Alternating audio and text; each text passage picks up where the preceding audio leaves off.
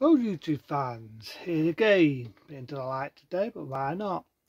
I thought I'd talk about this one. I was talking about a lot about DC Comics and DC Comic Heroes, why not this one? That being Fast, that being Fast Order, that's right, Fast Order. Back in 1980, why not? Why not? It's a dudden. Not a minute. Yeah, it's a dudden, Fast Order. What do we know about Fast Order? But it's a dudden. Now, a lot of people say that Fast Order's a bit champy and cheesy and all this, but you know what? Fuck them. Because at the end of the day, do you want to know what is cheesy? Do you want to know what is champy? Batman. Batman sucks for forever. That being Batman for forever. You know, by Schumacher. That's champy as fucking anything. Do you want to know what else is more champy and more cheesy and more champy and a fucking spies? Batman and Robin that being Batman and Robin. Them two films fucking suck and as champy as fuck. You know what? It's the most shittiest, champiest film going, and it's the same because I do love the actor. That being Christopher Reeve, may rest, but this one does suck, and I've been ranting on it. Superman 4, the test for shit. That to me is a big pile of fucking shit. This, on the other hand, I like it. It's, it's comic book. It's a comic book adventure, and it's a dudding. Starts off, you've got an American football player called Fast. He's in a of pain, and he gets abducted by this guy called Doctor Strange. That's right, Doctor Strange. And when you think about it, this does have similarities to James Bond. Think about it. The guy played Doctor Strange, who duped him, um, he also played Fiddler on the Roof, very funny actor, very funny film, Fiddler on the Roof. And you might remember him being Bond's mate in um, For Your Eyes Only. And you also have Timothy Dalton, that's right, Bond himself, Timothy Dalton, appears in Fast. Ah! And I love it. I even love the song sang by Queen, Freddie Mercury. It's a delight to, to hear him. I remember him when he sang in my favourite film, that being Iron Dog. And even though we never sang they used the song to defend of the nerds at the end. You know, we are the champions. So it's a delight to hear that. You hear two songs by Queen. If you remember the girl I mentioned in, um, let me think, Firewalker, very attractive girl, she's in this and all. I do love the bit where they go into the weird universe and the, the rockets moving, very comic book like, but brilliant. This film to me, this film, it's not a champy film. It's not. It's a comic book adventure and it's such a damn good imagination. This film, in my eyes, has a lot of imagination. It has a lot of imagination. The bit, the music is beautiful.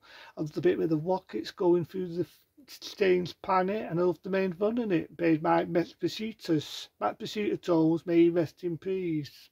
Peace, I meant to say, may rest in peace. Damned good actor. You might remember him playing the priest in the original Exorcist, that being Dr. Fito. Now he's brilliant in this, he's brilliant, and his daughter, fucking hell, I fancy the ass of his daughter. I remember when I was a lad, I think I fancy the ass of her, she is so sexy and um, you know they've got Fast Order and you got a lot of them. You got the Diner. He's been in a lot of films. He shouts a lot. Shakespearean actor. I always remember the scene. Fast Order is alive. but it's a dudden. Know, it's a dudden. It's definitely got a lot of imagination. It's definitely got it all. And I love Fast Order. And I think it is such a cleverly done comic book film. I do remember the butt worms in it, where you put your hand in and they shoot that spike out and they could poison you and they could kill you, then you're even mad. I always remember that. I remember the bit with the big monster tries to eat fast order and he manages to outsmart it. I just wish though, like the serial comics, because as we all know, we take some serial comics like the Batmans and all that.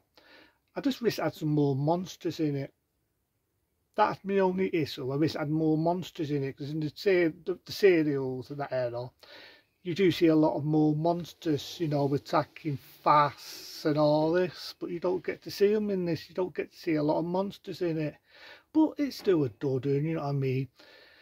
As you know, I always think the bit though where he kills the main villain was a bit lame. He fires a thing in, fires a spear in him and he fucking kills him. You know, he, he kills him. I think easy way to kill the villain. That's how I see it. It was an easy way to kill the bloody villain. But I do like the film. I like the fact that when somebody gets killed and somebody gets stabbed, to get different colour of blood in it. You know what I mean? Dad to make it comic and light-hearted. When you see somebody get killed, yeah, you see blood. But you see pink blood, you see blue blood, you see different blood. So I like that. I just thought the way the villain got killed was a bit lame. I do believe there was bits in it where they made it up on the spot at the end and Fast and Clown goes, yay! That was improvised. And, you know, there's bits in it where I do say Timothy Dalton's acting was a bit thingy in this. But I do like it. I do like the fact that they're fighting over the woman who's the princess for the main villain the bit where they say let's put the butt worms on her, which I'd to see what they were. I just like Fast Gordon. I think it had a lot of imagination in it. This to me, right, even though I'm not a DC comic man, even though I'm not a Marvel fan, this is my DC comic.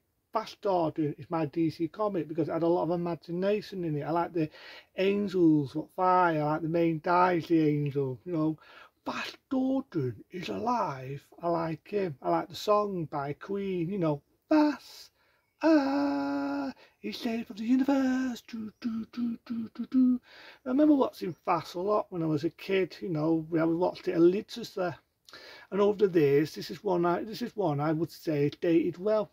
It just fucking pisses me off that people say, oh, it's Tampa, oh, it's Tuesday. No, no, no, no. I just said it. I say it again. Buttman and Fobbing. Buttman sucks for effort.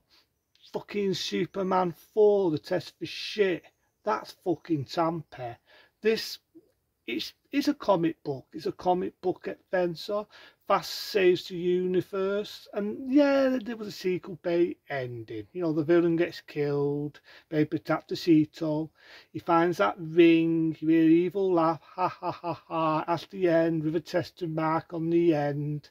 You know, your typical sequel Bay ending. And normally I hate sequel Bay endings in any film. I fucking hate sequel bait endings in any film. But this, on the other hand, I like it. I like it for the sequel bait ending because I would have loved to have seen. I would have loved to have seen a sequel to this. So this is one film. This one film. Uh, I never understood why they didn't make a sequel. You know, I think at the time it kind of bombed, but as over the years it became a total classic. One by the song Freddie Mercury, Queen one for the date visual effects. It was comic book, had a lot of imagination. It had it all and I like it. You know I mean? I just think it was an imaginative, fantasy, sci-fi adventure film as well as a comic book film. Now I do know they made a TV series in the later days, but never really rubbed off. And there was talk of remaking it. Don't remake it. Don't remake it. It's too late now to make a sequel, which is a damn shame in my eyes. But don't fucking remake it. Why why fix something, right? Why fix something in my eyes what isn't fucking broken? Why do it? To me, Fast Gordon's a classic. The only fault is, like I said, a bit with the arms and it sends you mad. A bit of that monster tries to eat fast. I just wish there was a few more monsters that Fast Gordon was killing and attacking, like in the serial comics in the 1930s and 40s of Fast Gordon. I never really saw them, I only saw bits and bobs of them. I just wish there was a few more of them in it. And yeah, I saw the adult version and all when it came out in 1974, and I think they also did a sequel in 1990. But I just wish there was a few more monsters in it. But other than that, though, that's my only fault. So the rest of it's good. I love the bit with the dad of Bane, Ross, Doctor Strange, and he outsmarts it. He says, How can you forget the sisters? The sisters was a day enough to work my life. I love it. I always thought he was a funny actor. I always liked him in Fiddler on the Roof. Very funny. You've never seen that film? Damn good classic. 1971. It's a dud. I liked him in For Your Eyes Only, you know. So I liked him in this. I thought he was brilliant and I just like the film. That being fast back in 1980. It's a dud. It's a classic. 10 star rating for me. Into then, do more things on the way and more movies on the way. Into then, be smart, be safe, and I'll see you soon for more films on the way.